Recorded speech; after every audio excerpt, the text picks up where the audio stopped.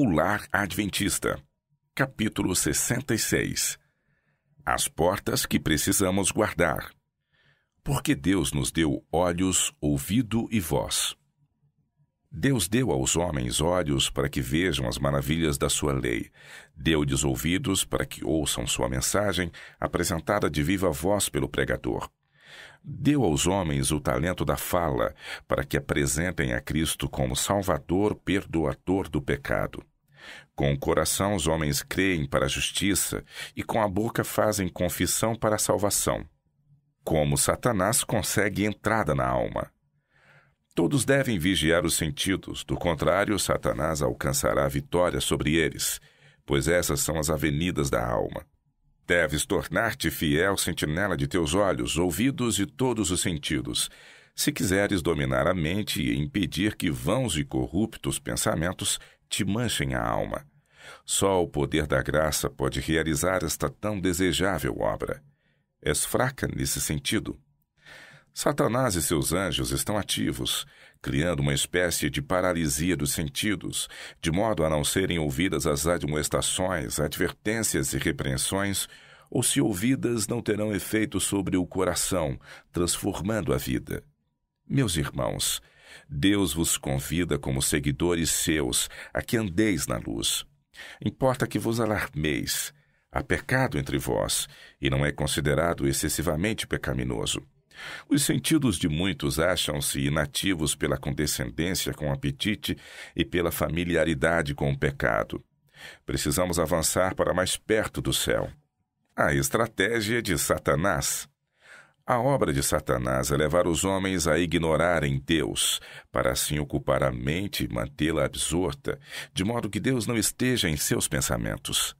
A educação que eles têm recebido tem sido de caráter tal que confunde a mente e obscurece a verdadeira luz. Satanás não deseja que o povo tenha conhecimento de Deus.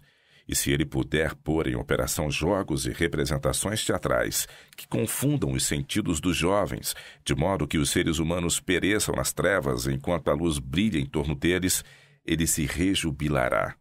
Satanás não pode entrar na mente sem nosso consentimento. Devemos apresentar diante do povo o fato de que Deus tomou providências para que não fôssemos tentados acima de nossa capacidade de resistir, mas que com cada tentação dará também um meio de escape. Se vivemos inteiramente para Deus, não permitiremos que a mente se demore em imaginações egoístas. Se houver um meio qualquer pelo qual Satanás possa alcançar acesso à mente, ele semeará o seu joio e o fará crescer até que redunde em farta colheita. Em caso algum, pode Satanás obter domínio sobre os pensamentos, palavras e ações, a menos que voluntariamente lhe abramos a porta e o convidemos a entrar. Ele entrará então, lançando fora a boa semente semeada no coração e tornando de nenhum efeito a verdade fechar todas as portas à tentação. Todos quantos proferem o nome de Cristo necessitam vigiar e orar, e guardar as entradas da alma, pois Satanás está em atividade para corromper e destruir, uma vez que lhe seja dada a mínima vantagem. É perigoso deter-nos a considerar as vantagens que poderemos colher em ceder às sugestões de Satanás. O pecado resulta em desonra e ruína para toda pessoa que com ele condescende. Sua natureza, porém, é de molde a cegar e iludir, e nos enganará com lisonjeiras perspectivas. Caso nos aventuremos no terreno do inimigo, não temos nenhuma garantia de proteção contra seu poder. Cumpre-nos, no que de nós depender, cerrar toda a entrada pela qual ele possa encontrar acesso à alma. Quem pode prever no momento da tentação as terríveis consequências que resultarão de um passo errado e apressado? Nossa única segurança é abrigar-nos na graça de Deus cada momento, não confiando em nossa própria visão espiritual para que não chamemos ao mal bem e ao bem chamemos mal. Sem hesitação ou discussão, precisamos cerrar e guardar as entradas da alma contra o mal.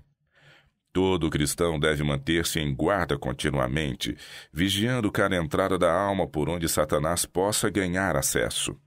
Ele precisa orar pedindo auxílio divino e, ao mesmo tempo, resistir resolutamente a cada inclinação ao pecado. Mediante coragem, fé, perseverante esforço, pode tornar-se um vitorioso.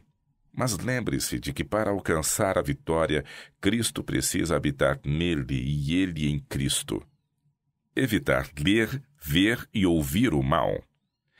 O apóstolo Pedro procurou ensinar aos crentes como importante é guardar a mente devagar por temas proibidos ou de gastar sua energia em assuntos triviais. Os que não querem cair presa dos enganos de Satanás devem guardar bem as vias de acesso à alma. Devem se esquivar de ler, ver ou ouvir tudo quanto sugira pensamentos impuros. Não devem permitir que a mente se demore ao acaso em cada assunto que o inimigo das almas possa sugerir. O coração deve ser fielmente guardado, pois de outra maneira os mares externos despertarão os internos e a alma vagará em trevas. Devemos fazer todo o possível para pormos a nós mesmos e a nossos filhos em posição onde não vejamos a iniquidade que é praticada no mundo. Devemos guardar cuidadosamente nossa capacidade de ver e de ouvir, para que essas coisas más não entrem em nossa mente. Quando os jornais chegam em casa, quase desejo escondê-los, para que as coisas ridículas e sensacionais não sejam vistas. Parece que o inimigo é responsável por muitas coisas que aparecem nos jornais. Todo mal que pode ser encontrado é descoberto e desnudado perante o mundo. Os que desejam ter a sabedoria que vem de Deus devem tornar-se nécios no pecaminoso conhecimento deste século para serem sábios. Devem fechar os olhos para não verem nem aprenderem o mal.